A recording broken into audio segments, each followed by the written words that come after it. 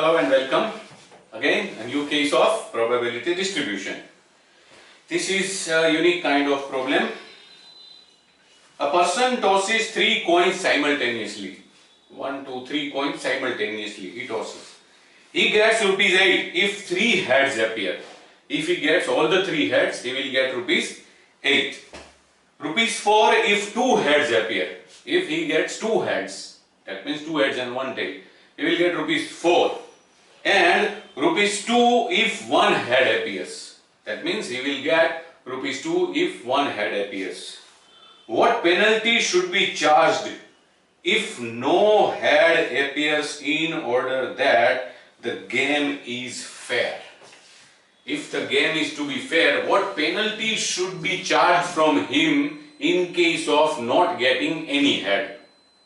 See the possible outcomes are there. Three coins, coin has two sides so 2 raised to 3, 8 possible outcomes are there. HHH, head on all the three, HHT, two heads and one tail in three ways. TTH, that means one head and two tails in three ways. And in case of only one out of eight, all the three tails can happen. So in most of the cases, he will get at least one head.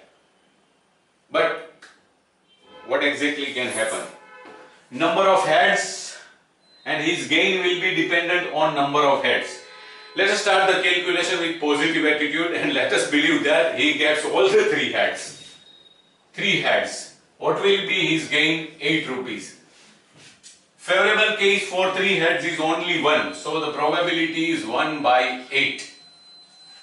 Now let us believe that he gets two heads. If he gets two heads, he will get rupees 4. So gain of rupees 4. In how many ways two heads, that means two heads and one tail can happen? 1, 2 and 3. So there are three favorable cases and probabilities 3 by 8. Now let us believe that he gets one head, head on one coin only. 1, 2 and 3 are the favorable cases, 3 by 8. And if he gets one head, he will receive rupees 2, that means gain of rupees 2. But there is a possibility of no head, all the three tails. Probability is 1 by 8, summation is 8 by 8, 1. But in this case, he will not gain. On the other hand, he will have to pay penalty. So his gain will be negative.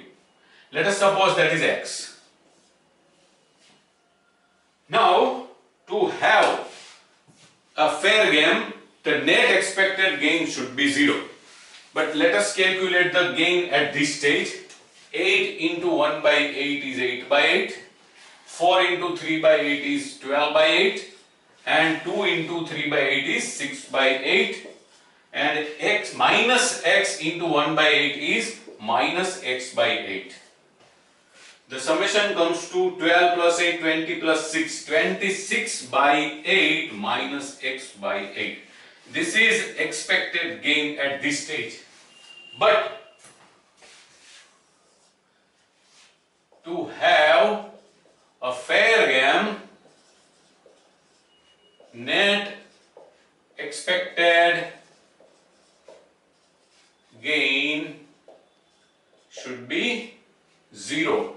Therefore, 0 equals to 28, sorry, 26 by 8 minus x by 8. So ultimately, x by 8 equals to 26 by 8. Therefore, x equals to 26 by 8 into 8 and therefore x equals to 26. So, the penalty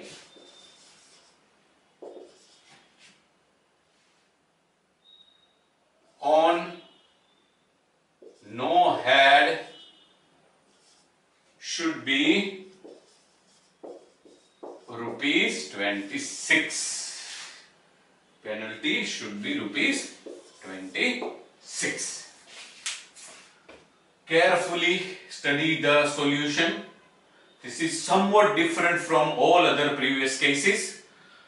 Uh, for this series of uh, problems and solutions. This was the last case in probability distribution. Now we are going to start new cases of binomial distribution. Thank you.